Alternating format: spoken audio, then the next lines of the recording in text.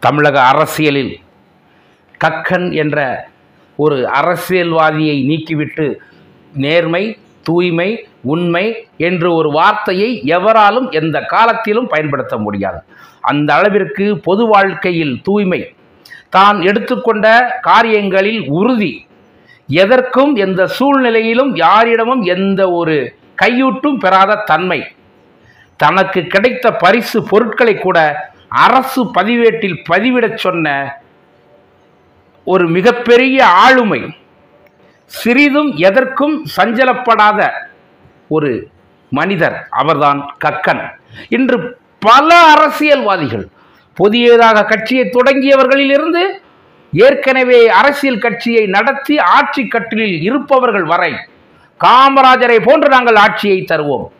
கக்கனை போன்று நாங்கள் அரசியல் அமைப்புகளில் பாடுபடுவோம் என்று பெருமையுடன் பேசுவதற்கு காரணம் அந்த காமராஜரும் கக்கனும் மேற்கொண்ட பொது வாழ்க்கை தூய்மை.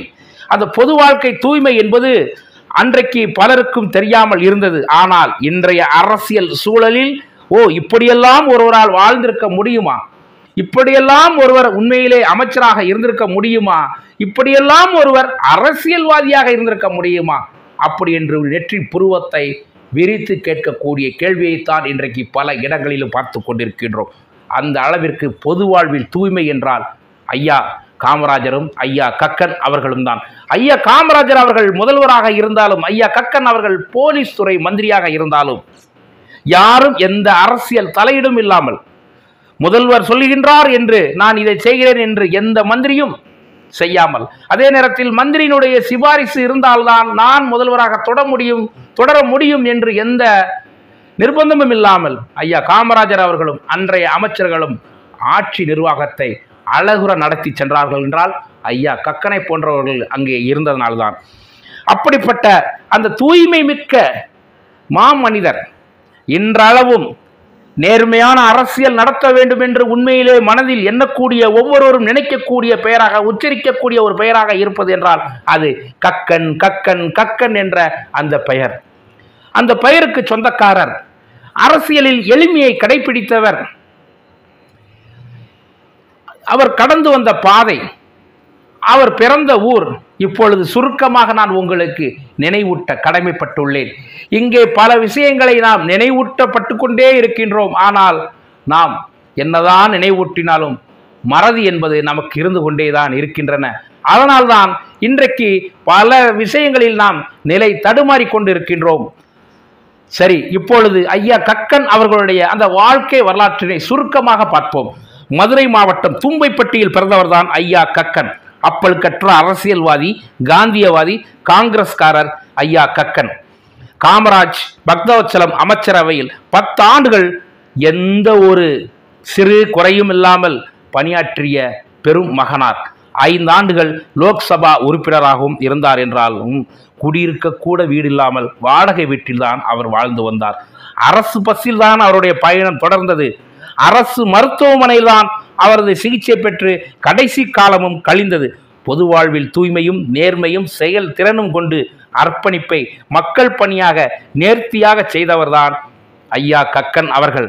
அமைச்சரானதும் மதுரை மாவட்டத்தில் ஒவ்வொரு கிராமங்கள் தோறும் ஓராசிரியர் என்ற ஒரு பள்ளியை நிறுவி முதல் உத்தரவை பிறப்பித்தார். ஏனென்றால் அனைத்து குழந்தைகளும் படிக்க வேண்டும். ஐயா காமராஜர் அவர்கள் எப்படி அனைத்து குழந்தைகளும் பசி இல்லாமல் படிக்க வேண்டும் என்று நினைத்தார்களோ அதே போன்றுதான் ஐயா கக்கன் அவர்களும் படிப்பறிவு இல்லாத கிராமமே இருக்கக்கூடாது.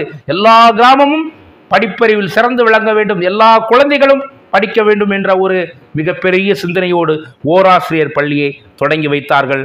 அதனுடைய முதல் உத்தரவையும் பிறப்பித்தார்கள். மதுரையின் பெருமைகளில் ஒன்றான விவசாய கல்லூரி அமைய காரணமானவரும் ஐயா கக்கன் அவர்கள்தான்.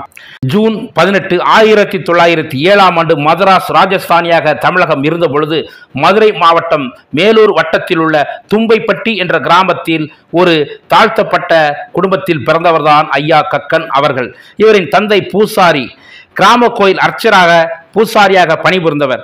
தொடக்க கல்வியினை ஐயா கக்கன் அவர்கள் மேலூரில் பயின்று அவர் திருமங்கலம் அரசு மாணவர் விடுதியில் தங்கி பி கே என் ஆண்கள் மேல்நிலைப் பள்ளியில் கல்வியை கற்றார்கள்.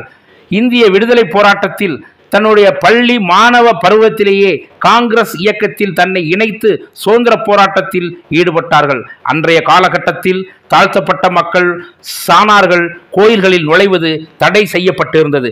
ராஜாஜி அரசு கோயில் உள்நுழைவு அதிகாரம் மற்றும் உரிமை சட்டம் ஆயிரத்தி தொள்ளாயிரத்தி முப்பத்தி ஒன்பது என்ற சட்டத்தினை கொண்டு வந்ததின் விளைவாக தாழ்த்தப்பட்ட மக்கள் மற்றும் சாணார்கள் கோயில்களில் நுழைய தடை செய்யப்பட்டிருந்தது. இந்த சட்டம் நீக்கியது மதுரையில் கக்கன் தாழ்த்தப்பட்ட மக்கள் மற்றும் சாணார்களை தலைமை தாங்கி மதுரை கோயிலுக்குள் நுழைந்தார்கள்.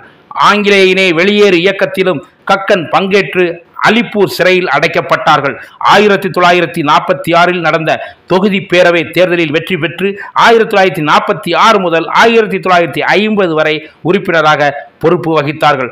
சுதந்திர இந்தியாவில் அரசியல் பணியினை இந்திய நாடாளுமன்றத்தின் மக்களவை உறுப்பினராக ஆயிரத்தி தொள்ளாயிரத்தி ஐம்பத்தி இரண்டு முதல் ஆயிரத்தி தொள்ளாயிரத்தி ஐம்பத்தி ஏழு வரை பொறுப்பேற்று மிகச் சிறப்பாக செய்து வந்தார்கள். காமராஜர் தமிழகத்தின் முதல்வர் பொறுப்பை ஏற்கும் பொருட்டு தான் வகித்து வந்த தமிழ்நாடு காங்கிரஸ் குழு அதாவது கமிட்டி தலைவர் பதவியை விட்டு விலகிய பொழுது ஐயா கக்கன் அவர்கள் அந்த பதவியினை ஏற்றார்கள். ஆயிரத்தி தொள்ளாயிரத்தி ஐம்பத்தி ஏழில் இந்திய தேசிய காங்கிரஸ் மீண்டும் தேர்தலில் வெற்றி பெற்று மதராஸ் மாகாணத்தின் ஆட்சி பொறுப்பை ஏற்றது.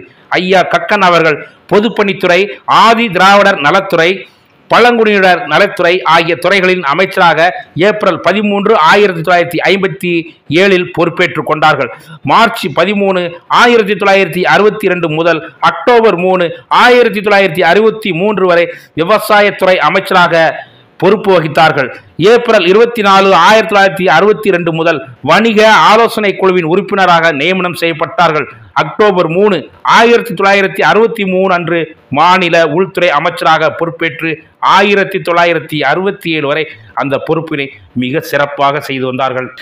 மேலூர் தெற்கு தொகுதியில் ஆயிரத்தி தொள்ளாயிரத்தி அறுபத்தி ஏழு சட்டமன்ற தேர்தலில் ஐயா கக்கன் அவர்களை எதிர்த்து போட்டியிட்ட திமுக வேட்பாளர் ஓ பி ராமனிடம் தோற்று போனார்கள். இந்த தேர்தல் தோல்விக்கு பின் ஆயிரத்தி தொள்ளாயிரத்தி அறுபத்தி ஒன்பது முதல் எழுபத்தி இரண்டு வரை தமிழ்நாடு காங்கிரஸ் அதாவது கமிட்டி தலைவர் பொறுப்பு வகித்தார்கள். ஆயிரத்தி தொள்ளாயிரத்தி எழுபத்தி மூன்றில் அரசியலில் இருந்தும் ஓய்வு பெற்றார்கள். ஐயா கக்கன் அவர்களினுடைய தந்தையார் கோயில் அர்ச்சராக இருந்த காரணத்தால் கக்கன் தமிழக சமயப்பற்றுள்ளவராக திகழ்ந்தார். மகாத்மா காந்தியின் வழியை பின்பற்றி நடப்பவர். ஆனால் பெரியார் தனது சுயமரியாதை இயக்கத்தின் சார்பில் இந்துக்களின் கடவுளான ராமனின் உருவப்படம் எரிப்பு போராட்டத்தை அறிவித்த பொழுது கக்கன் அதற்கு தனது கடும் கண்டனத்தையும் தெரிவித்தார். இது ஒரு சமூக விரோத செயல் என்றும் சுதந்திரத்திற்காக பாடுபட்ட காந்தியின் நம்பிக்கைக்குரிய கடவுளை அவமதிப்பதாகவும் என்றும் எச்சரிக்கையும் விடுவித்தார். இப்படி கா ஐயா கக்கன் அவர்கள் எதிர்த்தாலும் துணிவோடு எதிர்க்கக்கூடியவர் ஆதரித்தாலும் மிக துணிவோடும் தீவிரமாகவும் அதை ஆதரிக்கக்கூடியவர். ஐயா கக்கனுடைய பொது வாழ்க்கையின் தூய்மையை பற்றி ஒரு வரியில் சுருக்கமாக சொல்ல வேண்டுமென்றால் ஐயா கக்கன் அவர்கள் அமைச்சராக இருந்த காலகட்டத்தில் மலேசியாவில் இருந்து ஒரு அமைச்சர் ஒருவர் ஐயா கக்கன் அவர்களை பார்ப்பதற்காக வந்திருந்தார். வந்த இடத்தில் ஐயா கக்கனுடைய நேர்மையும் துணிவும் பணிவும் அவருக்கு பிடித்து போக கக்கன் அவர்கள் கையெழுத்து இடும் பேனாவை பார்க்கின்றார் மலேசியா மந்திரி.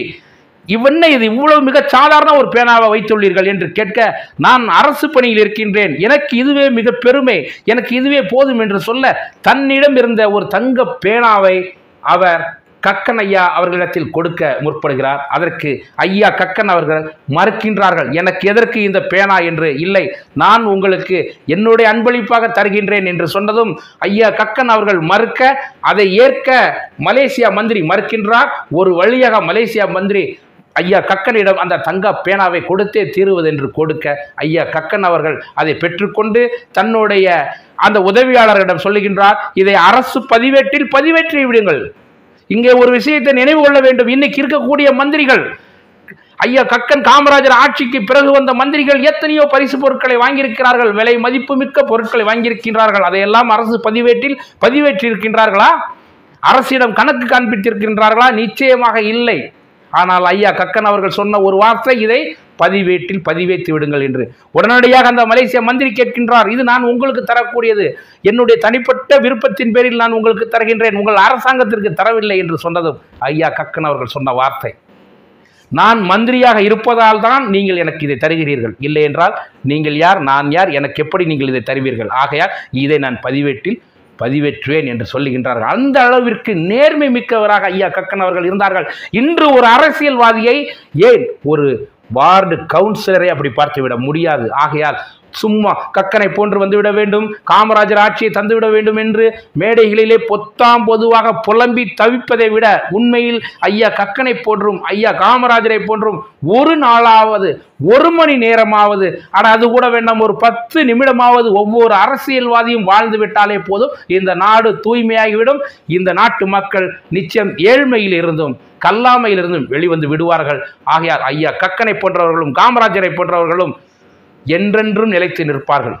இன்றைய மாணவர்களும் இன்றைய வாக்களிக்கும் வாக்காளர்களும் அவர்களை மறந்திருந்தாலும் ஆனாலும் ஏதோ ஒரு மூலையில் ஏதோ ஒரு சிந்தனையில் கக்கனை பற்றியும் காமராஜரை பற்றியும் காகிதம் இல்லத்தை பற்றியும் முத்துராமலிங்க தேவர் ஐயா அவர்களை பற்றியும் இந்த மக்கள் நினைத்து கொண்டுதான் இருப்பார்கள் என்று சொல்லி மீண்டும் ஒரு நல்ல வரலாற்று பதிவினோடு உங்களை சந்திக்கின்றேன். நன்றி வணக்கம். நான் தமிழன் மைதீன்.